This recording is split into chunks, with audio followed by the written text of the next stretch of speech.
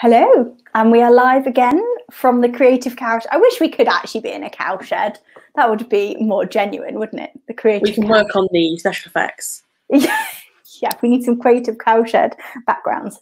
Um, so this week, we're talking all about email marketing software, of which we deal with lots and lots of different platforms because we work with lots of different clients, and you know, we we actually I don't think we have an out and out favorite, which I think will come out in conversation. Um, Mm. That as yet, with all th- as with all things marketing, we haven't quite found like the perfect um, system. But I think we'll have a bit of a discussion in terms of what we like, what we don't like, um, and what we use because we've gone a bit left field actually. Mm. We, we're using something that's relatively unknown at the moment, but are enjoying um, and sort of testing the boundaries of. Um, so, yeah, so we will be today talking about emails. And actually, we talked a lot about how to utilize your, your email um, marketing a couple of weeks ago. And actually, this is kind of the, the technical side of that conversation. We know we need a mailing list, but this is the techie element of actually how to build that list. Um, so, what's your what's your experience of the software itself? What have you used in big corporates? Oh gosh, lots of different things. Mailchimp, everybody. Yeah. You work in almost any business, someone there's Mailchimp floating around somewhere. It's been around a long time. It used to Well be one of the only options. yeah, so we oh, just use Mailchimp. That's what there is. Um, have used quite a bit of non-external software. So working in commerce and photography sales, a lot of the platforms have inbuilt mailing systems. okay. would work in a similar way. And that's a big upsell for them is being able to offer the email marketing solution. So you're not trying to integrate With something separate- else. a separate one with your existing commerce platform, which is really great. If it's if it's a good system, it saves another step. Um, and the, I think we'll probably go on to this more, but one of the biggest frustrations for me with things like Mailchimp is you they dangle the carrot and you get so much for free, and then the price per subscriber suddenly skyrockets. Yeah. And depending on the business you're in, it can be really cost prohibitive because you might get a lot of sign-ups. So a lot of the events work I've done, you can get a high, very, very high turnover of people per event. You could get a lot of a big spike in subscribers, but they're not always the highest quality subscribers. Mm, So then you're weighing up: Do I am I paying to keep these people on? Am I going to get additional sales? But that's stuff we can come on to. But yeah, definitely Mailchimp, HubSpot a little bit as a CRM. yeah. Um, yeah, those are the big ones really. Yeah, I think mine's probably quite similar. I've had more experience of things like Active Campaign and ConvertKit and things like that. They're quite, I would say, they're quite Americanized. They Mm. they fit with that sort of school of building your funnel, um, which 100% is what we need to be doing. I think we just sometimes when people start to use things like ConvertKit or Active Campaign, um, can be a bit overwhelmed by the Americanisms and the very it they are they look quite agricultural in their kind of they're not big and shiny like Mailchimp is quite shiny. It's it's a drag and drop builder. You can build in you know you can write in HTML if you have that skill, but you don't have to. And I think as a result, some of the um, more I would say some of the cleverer systems, the more flexible systems, don't look as shiny, and people get put off by that. They go, My emails don't look as shiny. And actually, if you take nothing from this other than the shinier your email looks, the less likely it is to make it through a spam filter. Just saying, just dropping a bomb. Yeah, the more the more elements there are in there, the more your email provider goes, hmm. Yeah. I like the look of this. yeah if you think about this a sieve that is protecting your emails from spam um, the little ones will drop through like, "Hi Charlotte, it's Alice. Nice to see you yesterday. See you again next week." That will drop through because that's from me, a personal email address to you, your personal email address. We've had correspondence before, clearly safe. a chunky, great big email comes in full of images, full of links, full of it. Ooh, it's not going to get through. And mm. actually, we um, MailChimp is a nightmare for getting past people's spam filters. Um, there are certain things you can do to help with that, which is things like making sure your domain is verified, making sure your email addresses are verified. That's all sort of steps that, in fairness, they are pretty good at making sure you complete. Um, yeah. There is a little bit of know-how as to how to get it into your header tech, header code and things like that, but a bit of googling and you can work out how to make that happen on most simple websites. Um, but uh, yeah the one thing with email marketing is you are always going to come up against the spam issue. That is always going there will, always be a percentage that don't get to the end user because it's hitting spam. Um, particularly with things like double opt-in now.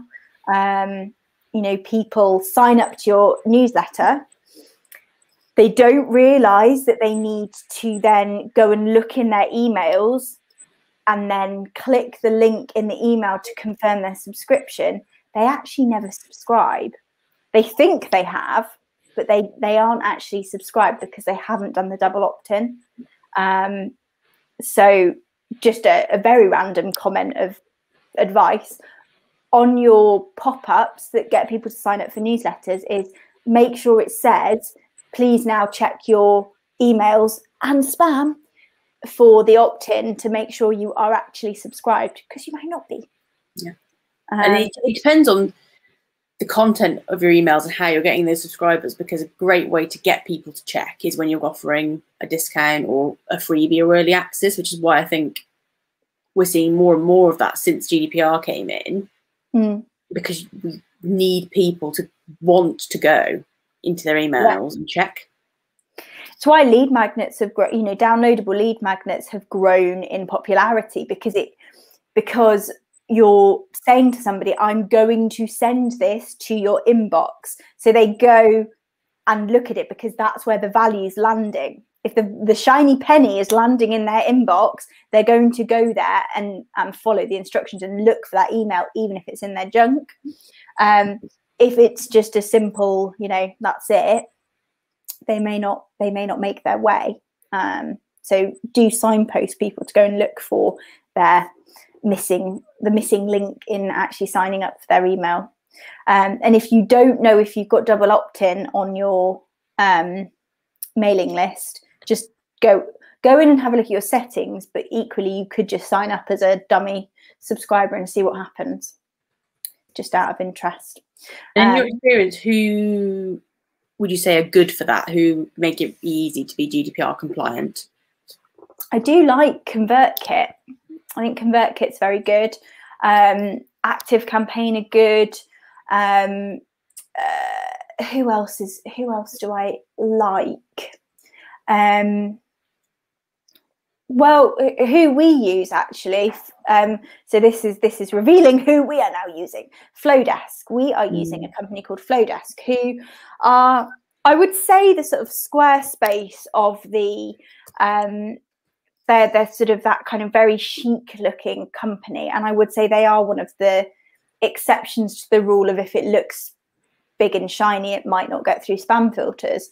Um, Flodesk are it's run by two very brilliant young women, and they have managed to get the balance between um, a beautiful look, and that's why a lot of photographers have gone for Flodesk. Um, I know certainly Evie uses Flodesk. I think um, does Beth use Flodesk as well? Not um, sure. We certainly know of a, a, handful of photographers who are now using Flodesk.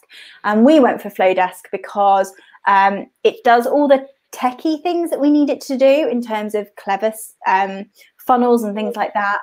Um, it's a flat rate. every month. So we're paying, you know, big pay, selling point. pay the same amount every month. It looks beautiful. It integ- it plays well with as an integration. So it plays well with Zapier.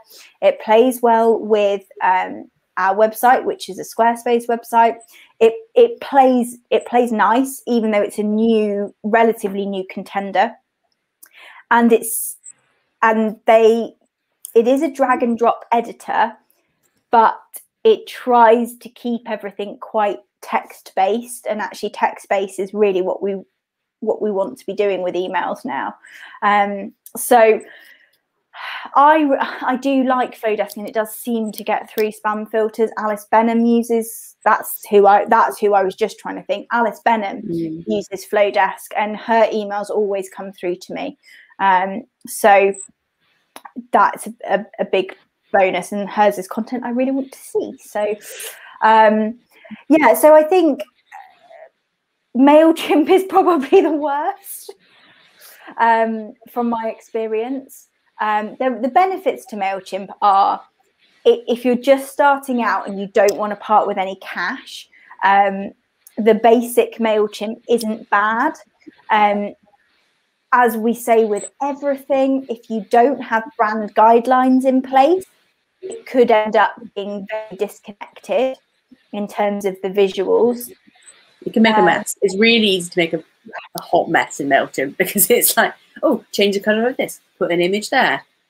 And yeah, recipe for disaster. Absolutely. Which is why there's, I can't remember the name of it. There's one that's a completely free text based and it's run by MailChimp. Is it Mailer? Um, it's not MailerLite, is it? MailerLite no, it's, it's really basic HTML emails. I'll yeah. try and find it while you're extolling the virtues of uh, Flodesk. Chitter chattering. Um, yeah, yeah uh, MailerLite is one I haven't actually touched upon. Um, MailerLite is sort of the it was the big competitor against Mailchimp, and mm. a lot of people really like MailerLite because you can't do again you can't do a whole heap, um, but for a lot of people that's a good thing. Um, you know, it does sort of it does push you towards just quite simple emails.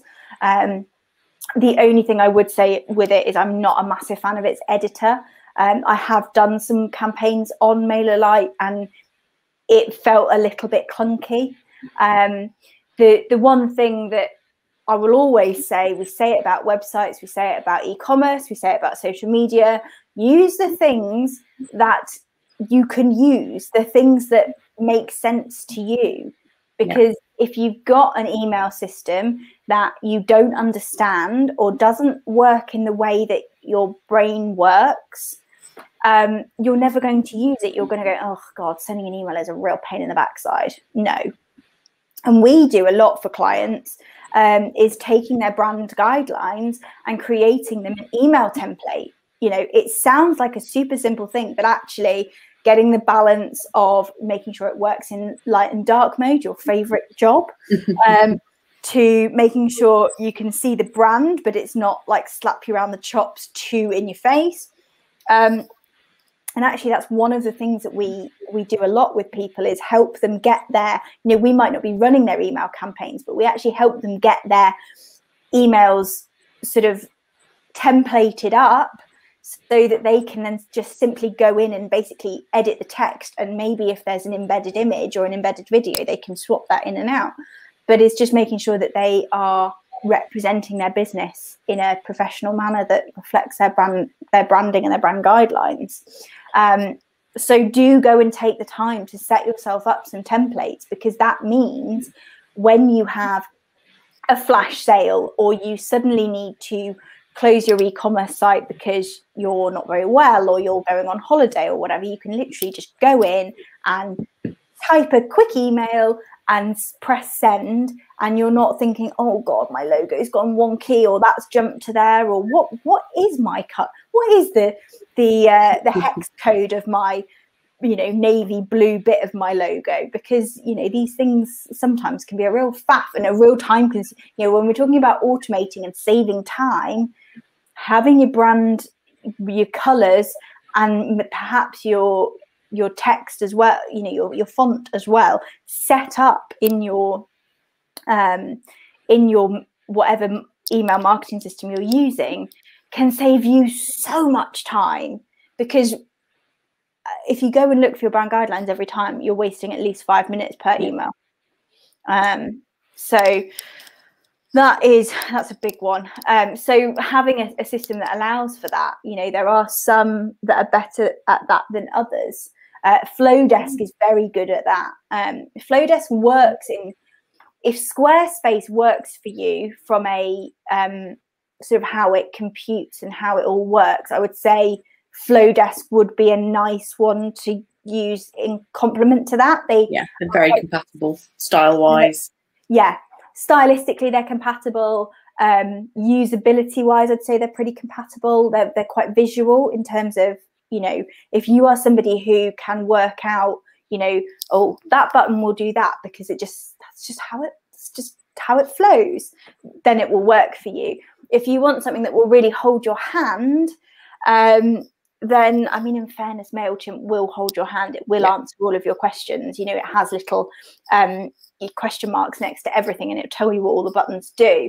Um, things like ConvertKit and Active Campaign, they don't. I I don't feel like they help you very much in the system themselves, but they are used by a lot of marketing professionals and you know there are loads and loads of forums and youtube tutorials and all sorts that can help you um, make you know make something happen or look at how something that's works. a good point actually is i think we said this before about using like web builders and all sorts of other stuff it's always worth having a little hunt and seeing who's got good resources yeah Because it might not be their resources but generally. Yeah, there might be a really good YouTube community that put loads of videos out. There might be some really good forums. So just have a little look. If you're toss up between a couple of different ones you want to try, they're both in your budget. You're like, oh yeah, I quite like these. Just a bit of hunting around. What kind of things are cropping up? What kind of issues are people having that people are then having to write a tutorial to solve? Because that yeah. can tell you quite a lot about piece of software great example is um, writing an email for a client and I wanted to get their I wanted to get the branding right and I wanted to get the look and feel right.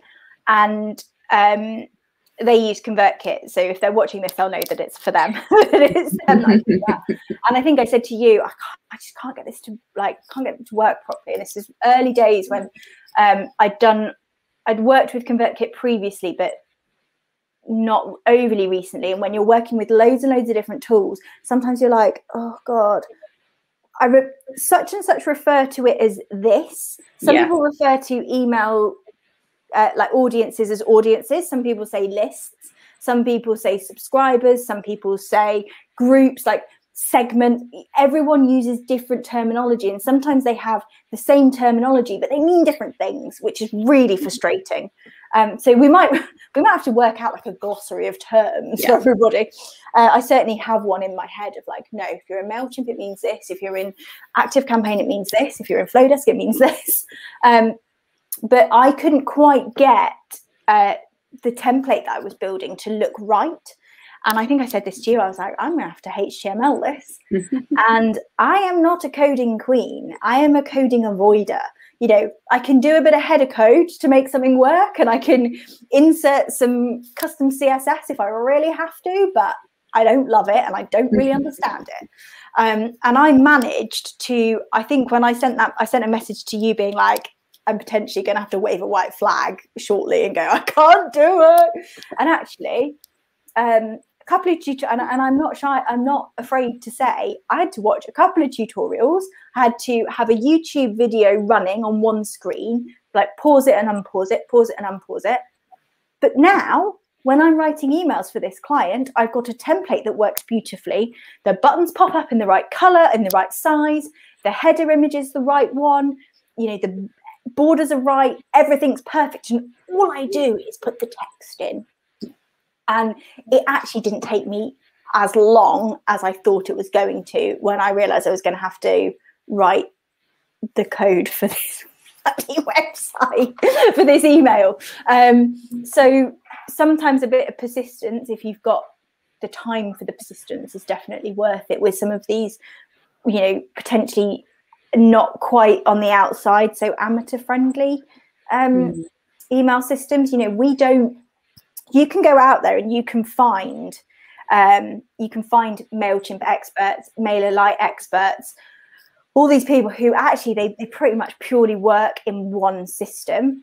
We aren't those people. We have to be dynamic. We have to be flexible. Luckily, we're pretty good at learning new things pretty quickly because we have to be quite dynamic all the time. Um, and um, I, you know, you can go to these experts, and I would highly recommend if you are wanting to get a campaign built and you don't have time to do it yourself. Um, have a look and see who's out there because it might be that an hour or two of their time gets you set up with all the templates you need to then go and make it happen. Yourself. It's one of those things. It's worth laying the groundwork properly. Yeah. Because what you might find happens is you end up with thousands of subscribers. Say something goes really, really well and you're super successful, which is great. And then you've got all these subscribers, but you haven't tagged them logically. Oh. Then that where did they come from? What product have they signed up to? It's quite a common one if you're running things like lots of different courses or lead magnets. Mm. And suddenly you realize you haven't kept track of where everyone's coming from. Or you've written a tag that doesn't make any sense. Yeah. I, I went into um, and and you have to be careful sometimes with integrations. So a bit of a um, cautionary tale, I suppose. We had a client and they wanted me to go in and write them uh, sort of corporate guide corporate guidelines for usage of Mailchimp um, and put together basically this is how Mailchimp is organized because I opened up their Mailchimp and there were hundreds of tags and I'm not joking hundreds of tags. There were so many incomplete profiles you know people with no names just literally just email addresses they'd been dropped in. Don't know where from. Who knows? Um, duplicates, um, people who were no longer members were tagged as members, and um, all sorts. We worked out, or after a bit of a process of elimination, I came to the conclusion that a lot of the tags were being generated by Eventbrite, um. which was integrated with their MailChimp. And the, these are the things that you need to be aware of when you plug other things into your mail mail manager they might start to do things. So you have to make sure that it is really clear you know how things are working. We're doing a, a project at the moment where um, another company is running one element and we're running the other element but we, we're obviously working together to make it all join up. And we've had to be really careful that all the tag you know we're giving they tell us what tags they need and how that then sits in the funnel. And we've got to make sure that the tag that we've actually entered is the tag that they're using. Because if we don't, eh, it won't work. It will just like we'll lose everyone. Um, so making sure that you have a, a sensible tagging system and actually sit down and write your guidelines. Right, this is how I'm going to use it. There has to be, and you know, first name, surname, email as a minimum. Um, we need to know where they've come from. That's one tag. We need to know what events they've attended or what they've downloaded. That's another set. Of, you know, there's all these sorts of things that it's worth going and actually organizing because if you grow your business to the point where you get an administrator, a VA, a PA, a secretary, an admin, you know, all the a marketing team or marketing consultants like us. We then walk in and ask you 25 million questions because you've been running it in a way that you've kind of managed to make it all work, but it makes no sense to us. Um, so always, always try and future-proof anything that you use. It's the same with a website. If you're using um, a website with you know, WordPress is a perfect example. If you're using a WordPress website um, and you built it yourself, just be mindful that if you do strange things to make stuff align and, and look good, that someone else might come along and go, What's gone on here? It doesn't mean what you've done is wrong. It just means that there's a lot of different ways to get to the same result. And not everybody does things in the same way. So if you can write down as you go sort of your your sort of rule your commandments of your of your mailing list that can be really really helpful when it comes to upscaling. We've just had a conversation with a lady from a fantastic lady and she's wanting to upscale her business significantly. Um, and one of the things that she is has got to to utilize is a, is a mailing list. So we will be going in there and having a look at the demographics and everything like that. Um, and I'm pretty confident she's got that nailed. Like I, I, know that I reckon we can go in and we'll we'll be able to see everything. Um, but there are clients where they go, yeah, I've got a mailing list, but I don't know, just been people have just been added to it because they've happened to have visited my website. I mean, I've actually sent them an email. Um, and in terms so, of the tagging and organisation of audiences and mm, segments, who have you found makes that quite easy? Which software? If you're if you're a beginner, we're recommending someone who's DIYing it. Most, you know what, tagging. Um, although it has different names on certain different systems, um, tagging and segmentation is something I would say across the board is pretty good. Mm. Um, there's nobody that stands out to me as really, really useless at it. Um, a lot of the time, tagging is also connected to integrations. So, like I mentioned earlier, Eventbrite, but it might be um, your website, for example, and you just want to tag it as like website or a landing page. Now, if you're building your landing page within your email marketing software, you can then say anyone who hits that landing page and then signs up will be tagged with landing page one, May 2021, or maybe the name of the lead magnet or something. Um, so they're all pretty good at tagging. It's just making sure that you're actually doing it. Not enough. You've led yourself into another question there. Oh God! Uh, for those who the only initiated, what's a landing page, and who again makes it easy to do and build? Okay, so Landing pages, um, they can sit on your website. You built one the other day for a client, um, which actually sits within her website um, and has uh, buttons and bits integrated into it that then connect to other things. Or a lot of the email marketing systems will allow you to build landing pages within their software. So, what it is, is sort of a standalone page that you hit, and you will have hit so many of them over time. Um, you might not know that you're on a landing page, but you're on a landing page. And it might be for a download. So I'll use us as an example. We might have a free, what we describe as lead magnet, a free download that Could helps. a glossary you, of mailing list terms. A glossary of mail. Yes, let's take that. I'm. If you want I'm, it, let us know. yeah, I want to um, be able to send people who are interested um, my glossary of terms. And then in return for that, I want their details so I can then send them marketing emails about upcoming create your uh, no command your content courses.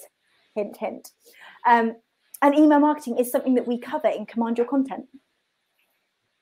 Shameless plug. Um, so and Charlotte, I'm sure we'll be able to put a link to command your content. A glossary would. Oh no, Lindsay.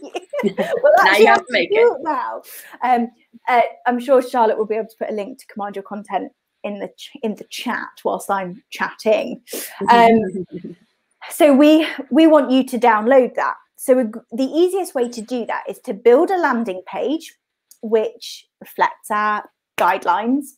You can then put in your details that landing page will then have attached to it an automation which sends you an email with the link to download your glossary. And then it will also save your details in our email marketing software and tag you as glossary download. So I know where you've come from. So I know that you're interested in uh, in information about email marketing, um, which then allows me in the future to make tailored contact with you. So the way that we use tags is if, for example, you had come through um, our avatar, our free avatar builder, marketing avatar builder download, I know that you're interested in creating um, and, and understanding your target audience. So I might specifically send you and all the other people tagged with um, Avatar Builder all uh, an invitation to a webinar that I'm going to do about um, developing your customer avatars. Handy. Um, so landing pages are um, very easy to build. I would say in in a good chunk of the you know the mainstream. Uh, Mailchimp is very very easy. Um, I believe with MailChimp, it's a while since I've used the free version, but I believe in MailChimp, you may only be able to have one set up at a time. And I know they certainly have a limit on the number of automations you can have on the free version. Um, Flodesk landing pages are very easy to use, they're very aesthetically pleasing. Um, so, yeah, so again, I think um, things like landing pages and, uh, are not too bad where it can get clunky is automations. Mm. Um, MailChimp have recently done an update and their customer journeys and automations and, and flows are much, much better than they used to be. But you there is a price tag attached to that. Um, if you're if you're on the free version, you're just not going to get access to it. The annoying thing is, I believe it will let you build it, and then you get to the end and try to publish it, and it goes, oh, sorry, no, you need to upgrade to actually be able to show people this. Um, Flodesk is lovely for automations. It, it's very visual. It very much makes sense. Um, ConvertKit is very, very, very easy for automations. I, it's actually my, um, it's actually my favorite for building um, automations and tags and linking in with Zaps and everything. Like it's it's a it is a lovely system. Um, we've just had a, a Victoria. How do you feel Flodesk gets on with Wix websites? That I wouldn't be able to specifically tell you. Um, tried that particular. We haven't tried that particular integration. Um, the fact that it plays well with Squarespace makes me think that it would play well with Wix. The what I would recommend to do is um, Google, Flodesk, and Wix. Flodesk, you can have it's a two week free trial, isn't it? Mm. I believe. The, be- the beauty of Flodesk is it's actually inline code. So when we talk about it integrating with Squarespace, there's not a direct integration. So Squarespace is a MailChimp one. That's the only one they actually have. The way the Flodesk one works is you get some inline code that you can then just copy and paste. So if you look on our mm-hmm. website in our footer, that's just chunk of code we pasted and it puts it in there. And we designed the in Flodesk, you design that chunk of content to look visually similar to the website. Yeah. So it looks seamless. And the reason it works well with Squarespace is because they're very design similar. similar. Yeah. And I think with Wix, you shouldn't have an issue because it should be you should just be able to paste code. You put a custom code block in and copy and paste the code. But like Alice was saying, try the free trial and give it a go. Mm. And, and, the, the lovely thing that works. The, the big the big winner for me with Flodesk is when you take their free trial, you get access to everything. You don't get given like a little bit of this and a little bit of that. You get shown everything it can do, which meant that when we took the free trial, like I know I said to you, Charlotte, if it doesn't do this, this, and this, it's not going to happen. And I was able to go in and actually test all of that and have everything built before the free trial even ended. And we had it plugged in and it was, you know, it was happy, um, which was really, really handy. Um, so I would, Victoria, if you're, um, I don't know what stage you're at. I know it's a it's a new venture for you. So I'm hoping you're at the beginning of that journey, and you will be able to go in and play. And and and you're in a brilliant position because you can sign up for a couple of different free trials you know go and look what's out there go you know find what works for you and works well with wix. Wix actually has an internal emailing system which we have a um, which we have a client who uses. We might be able to connect you to actually um, potentially for some sort of information. No, a couple of people who use Wix's inbuilt inbuilt emails now. Yeah, yeah, they re- they re- Wix is really pulling their weight now. Um, really, really putting their weight. Oh, a CRM. Oh, wow, that's a whole new kettle of fish. That's another which, life. Which we love. Um, I'm a massive advocate for Salesforce because it's a seriously powerful tool, but it might be overkill.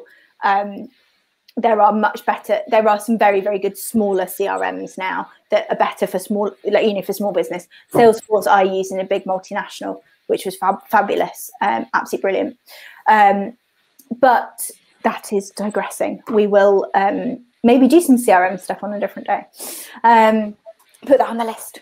Um, Lindsay, really helpful. I use, use MailChimp because it's well known. Yeah. And that's why a lot of people go to MailChimp because it's like top of mind. Talk, this is a bit of a marketing thing, but people think uh, email marketing and go MailChimp. They have got that top of mind marketing absolutely nailed because even though we don't use MailChimp, if we were playing a word association game and somebody said email marketing, I'd go, yeah.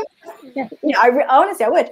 Um, so they do do, um, they are really, really handy and they do get you going. And the one thing I would say is it's actually not too difficult to move from one email marketing tool to another. So, Lindsay, if you are thinking about moving, um, it's not as scary as you might think it could be. It's a it's a pretty straightforward download upload system. Um, so don't worry if you do feel that you need to change to something else. Um, it, it's not an an impossible task, um, and it's about working out. Like we we often talk about future proofing, so it's about sitting down and saying, right, this is what my strategy looks like for the next six months. This is what I want to do and want to offer people, and then working out what works, what is going to be able to do that job for you. We did it. We knew that we had, you know, online training coming. We knew that we were going to be wanting to give you know give people access to more content um, we potentially needed to have a members area. So that's why Squarespace and Flodesk suddenly offered us a little bit, uh, you know, offered us what we needed. Um, and we also sat down and said, right, well, that's what we need for now, but what are we potentially going to need in the future? We sort of did some blue sky thinking, this is what we might need, and made sure that they both ticked those boxes as well. So we don't advocate hopping around services, but it isn't too difficult when you're relatively early um, you know in that journey. What is more difficult is obviously you'll have to rebuild landing pages. You will have to alter your um I, lindsay i don't i think you might be a wordpress website. I might be totally wrong there. Um you will have to go in and just change your sort of email sign up um blocks on your website things like that that's the the slightly clunkier element to changing. The actual moving of contacts is really really easy but you will have to go in and obviously redesign your emails redesign your landing pages and make sure that your your plugins are all working properly. Um, but it isn't insurmountable. Yeah you are wordpress. I thought you probably would yeah actually i know yes i know you are. I know you are. Uh, that conversation. Um, so yes, I think um, finding one that that works for you um, in the the short to medium term is really important um, because there is nothing worse than sort of seeing all your hard work in landing pages and things suddenly then disappear. Um, so yeah, definitely looking at that. Is there anything else? Is there anything that we've missed? I mean, there's so again, this is one of those topics that we could literally talk about forever. Um, because it is a massive chunk of of what we do. Um, more and more what we do actually i really love i love i love, love automation I love automations and flows and thinking about. I just love it. Uh, and it's how we're going to. It's how we're going to make the most of um, these sort of slightly closer relationships. And, and like I mentioned earlier, um, utilizing tagging to really tailor the content that people are receiving. You know, um, just thinking about Lindsay's business, you know, you've got you've got people like us who are members. You've got um, you've got consumers who are members. You've got you know foodie members. You've got so you can really tailor what you're sending people to make sure it's relevant and it doesn't hit a bum note with them. Um, so you know it's really exciting how we can tailor people's experience, and that's what at the end of the day we're always thinking about is how is how is this going to benefit and impact positively impact our customers and potential customers? Um, and how can we use it? Um, so so get distracted by the comments here. Um, always think about how it's going to benefit your end user at the end of the day or you know future end user. So guys just a top tip from you on where to start or is that all covered in your course? We're talking tomorrow but i'm tempted. Ah well. Um where to start? We i mean we definitely so part of the course is establishing what's right for you. And that's what's right for you from where to put in the most energy from a social media perspective where to put the most energy from uh, a, a, mailing and marketing point of view, PR point of view, all those things. It's all about focusing the limited time that you have to protect that personal life because we all have to have downtime. So taking that however many hours a week you've got and making sure that we are using it in the best way possible. But where to start when it comes specifically to email marketing? Go into your inbox and look at what other people are using. Mm. You can quite often tell. Sometimes it will be in the signature. I'm not obviously talking about like, you know, a direct email from me to you. Um, we use Outlook if anybody cares, but but have a look at some of the the um, the emails that you're getting, sales sales emails or sort of like you know generic marketing emails. Um, sometimes you can see it in the in the signature, like Shopify or um, Mailchimp or what have you. Um, see what Wix other people. is usually pretty obvious as well. Yeah, Wix. Flodesk is there with a little thing at the bottom. Or go to click the unsubscribe button. Yes, and that will take you to their website. um, so go, so go and have a look what other people are using. What what hits your inbox? I mentioned earlier, Alice Bennon's emails always hit my inbox. That's Simple. a good sign. Um, and the other thing is to sort of make a short list of the ones that you want to try and do honestly take the time to play with them, try them. Um, there are no, there are none that I would say like, oh my god, don't use it. MailChimp has its place, even though it's not my favorite, it definitely has its place from a usability perspective. Um, it just hits barriers down the line. Um, so there are also some good comparisons. I now there is a comparison website. There's a blog or something. Leave it with me. I'll, I will go and Charlotte make that as something I need to remember to do. I will try and find there's somewhere, it might be one of the providers themselves that actually handily made a comparison of sort of what it costs to do different things and what's included and what's not. Um, worth trying, even if you have no. Yes, because if you've got no subscribers, it means you are in the perfect position to choose the one that you really, really want to use. Um, the subscribers element is, is actually fairly null and you know it's it's a it's a mute point because the subscribers you have has got no relevance to how easy you find it to build a landing page or to build an email. Um, if you can't build the emails and you can't build the landing pages, you're not going to have any subscribers. So, um, so thinking about it's a bit like, you know, you I've got no followers on Instagram. Well, we need you to learn how to use Instagram first, and then the followers will come. So, um, so go and make sure it works for you. Um, and then you know limit it to two or three but also think about what you need out of that email system you're an e-commerce business so from an e-commerce perspective what is important um, you know it's going to be you know good good contact. It's going to be potentially retargeting things like that. So have a think about that.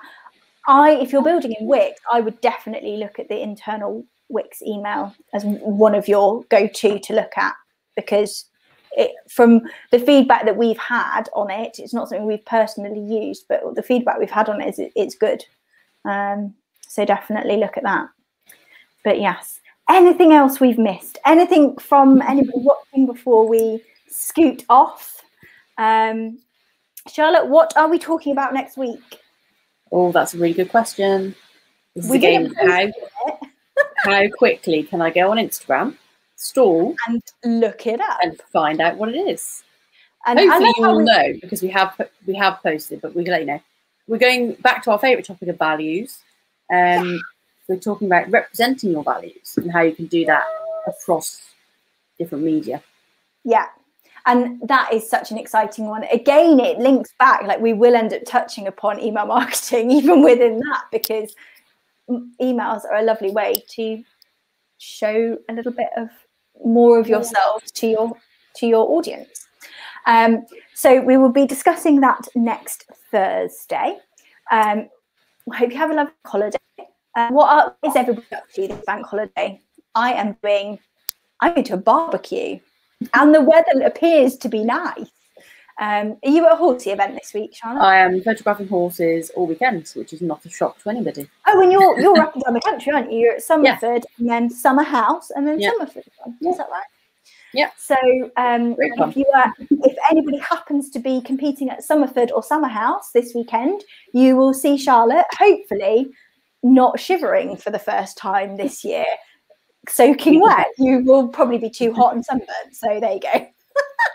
um, so have a wonderful bank holiday. We will see you next Thursday to talk about values, um, and we will. Um, any questions, as always, any questions, let us know, and we will come back to you with. Uh, if I can find that price comparison blog or wherever it was, I will post that and yes, sun cream, definitely sun cream, and a raincoat because you never know. Yeah. Um, and Lindsay, I will start working on your glossary. we will see you next we week. Got homework. we have got homework. Bye.